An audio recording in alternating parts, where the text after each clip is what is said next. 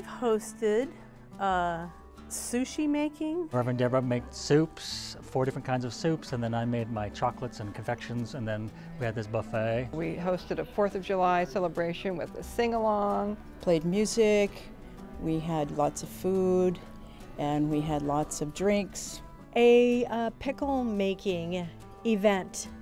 And last year I did the Salmon Fest. Rolling rice and rolling dough, and it was really, really fun. There was sake involved, I will say. We broke bread and told stories, and it was the most fun event that I've had in a long time.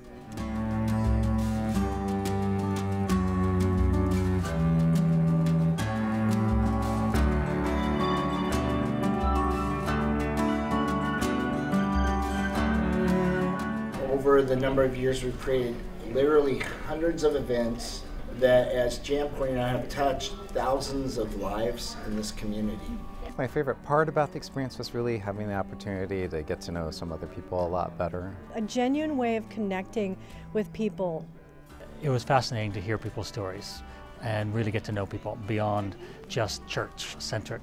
It's really nice to be able to get a little deeper into somebody's life story or their sense of humor or, you know, those kind of things that you don't really get passing each other in church.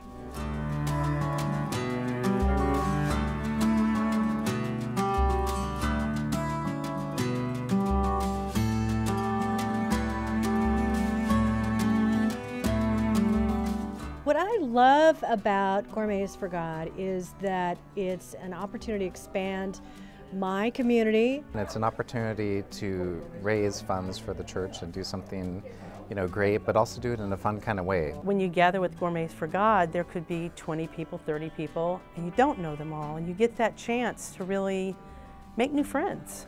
Attending them is my way of meeting people.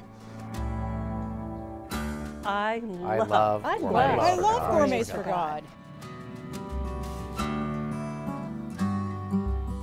And it's just a way to really connect on a deeper level to this community.